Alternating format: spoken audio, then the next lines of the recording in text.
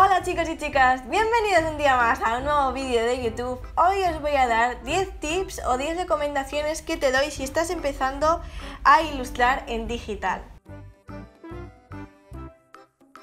El primer tip que yo os doy es que si estáis con el boceto, que no pintéis encima, es decir, que no os pongáis ahora a colorear las cosas encima del boceto creando una capa encima, sino que coloreéis primero que bajéis la opacidad del boceto un poquitín y que coloreéis debajo del boceto. ¿Por qué? Porque si yo por ejemplo coloreo la piel, ¿vale? Aunque es de color lila, pero bueno, sería de color carne, voy a poder seguir viendo dónde va el ojo, dónde va la nariz, dónde va la boca, es decir, todo. En cambio, si coloreo desde arriba, no va a ser posible.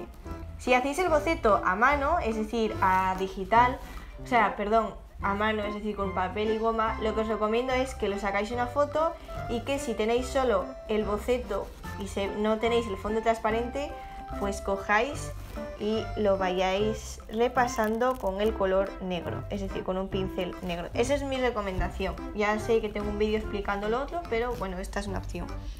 La segunda cosa que os explico y que está súper bien es la máscara de recorte, ¿vale? Esta máscara de recorte, ¿para qué está? ¿Veis que la he utilizado aquí muchísimo? Bien, es súper importante porque os voy a mostrar esto. Si a mí, por ejemplo, veo a alguien y me dice, Elena, mira, que es que yo tengo el labio más grueso. Si estuviera pintándolo de normal, si no tuviera esa máscara de recorte, yo ahora al colorear con este color, que creo que es el original, ¿vale? Eh, veis que he coloreado con este color que está más claro, pero me mantiene la textura y me mantiene todo. O mira, Elena, que es que quiero que se me vea el, el más labio. ¿Veis que se me mantiene el color? Eso es porque he creado una máscara de recorte y las máscaras de recorte pintas encima de esto que he coloreado. Entonces se me va a mantener esas cosas que yo he hecho. Vamos a echar para atrás. No sé si me he explicado bien. Es como una máscara. Desde aquí puedo hacer texturas, puedo crear texturas sin salirme del dibujo. Pero está muy bien porque en el caso de algún cambio o algo, ¿lo veis? Siempre voy a poder ir hacia atrás. Si dibujo una sola capa, esto no lo vais a poder hacer. Entonces creo que está bastante bien. El tercer tip es colorear.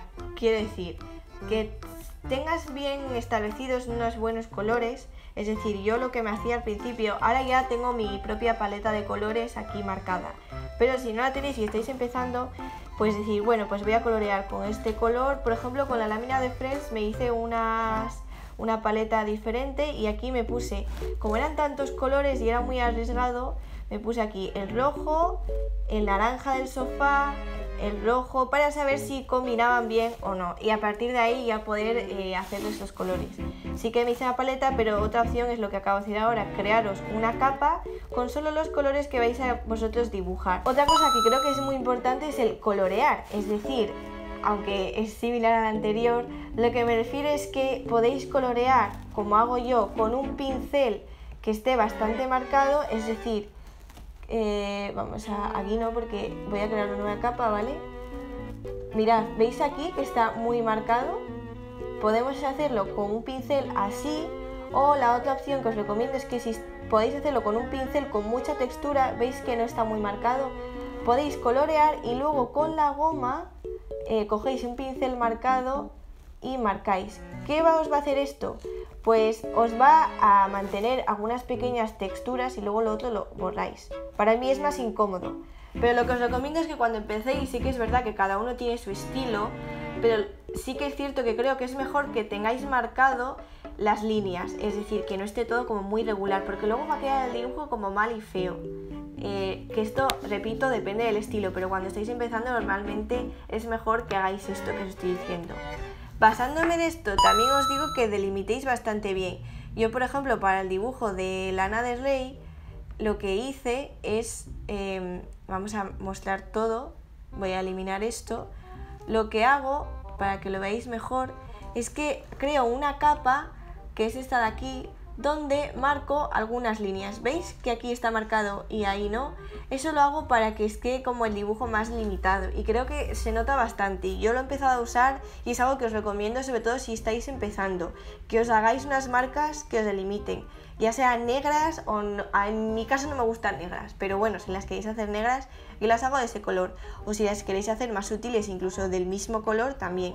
Pero me gusta que se marquen un poquito porque dan un poquito de contraste al dibujo. Otra opción es que hay, si vosotros creáis aquí una nueva capa y por ejemplo en este caso mi dibujo quiero que tenga un tono azul y todas las ilustraciones tengan un tono azul, hay una opción que se llama aquí en capas aclarar. Entonces deslizo todo, bueno, tendría que estar justo aquí y como veis los negros se me ponen más azules. Si yo por ejemplo mi paleta de colores es súper rosa, o en este caso súper azul, el negro se me va a transformar en más eh, azulado. ¿Con qué consigo esto? Pues crear un pequeño filtro en el que todas las ilustraciones tengan como una pequeña coherencia. Si yo siempre uso este filtro, le doy este color azul a todas las ilustraciones, van a quedar todas como muy coherentes y siempre con una misma, tonalidad. Yo esto no lo uso mucho, pero y aquí cada uno, si os gusta, es un truco que yo he usado a veces y que creo que está bastante bien. Otra cosa, es que cuando queréis hacer sombras hay una opción que se llama multiplicar.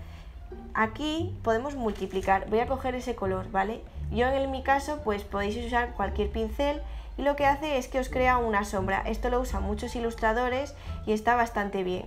Lo podéis usar tanto una sombra muy marcada o como no, o como simplemente podéis usarlo para... Yo a veces lo uso para multiplicar el pelo, etcétera, etcétera. ¿Qué os recomiendo? Que no cojáis colores muy intensos, sino un color término porque se marcan bastante, es decir, se queda muy pegado el color como su propio nombre indica, es como que multiplica el color. Entonces creo que es mejor que quede eh, con un color intermedio, ¿vale? Y esa es la recomendación que yo os doy. Multiplicarlo así para crear sombras. Capa multiplicar sombras. Tras esto hay una capa que se llama capa de subexponer que es para crear luces. Eso sí, debemos de poner un color bastante claro y con esto como veis en el, en el caso este se nos aclaran los colores claros. El negro nos lo va a mantener pero los colores claros nos lo mantiene. ¿Qué hacemos con esto entonces? Dar mucho más contraste a nuestra ilustración. Y como podéis ver queda bastante guay y creo que también es un tip que yo este sí que le uso mucho. Ambos, tanto el de multiplicar como el de aclarar, le uso bastante. Otra cosa que yo uso mucho es este eh, tip que es como eh, que se deslumbra, que es un desenfoque y esto está súper bien. Por ejemplo, yo voy a crear ahora una estrella así, ¿vale? Y quiero que, salga un destello. Lo que yo hago es, con los tres dedos, bueno, esto vale para Photoshop, para cualquier cosa. Simplemente lo he copiado y pegado. Vamos a la capa de atrás y vamos a darle un desenfoque gaussiano. Y veis que le da un destello, a mí me encanta cómo queda.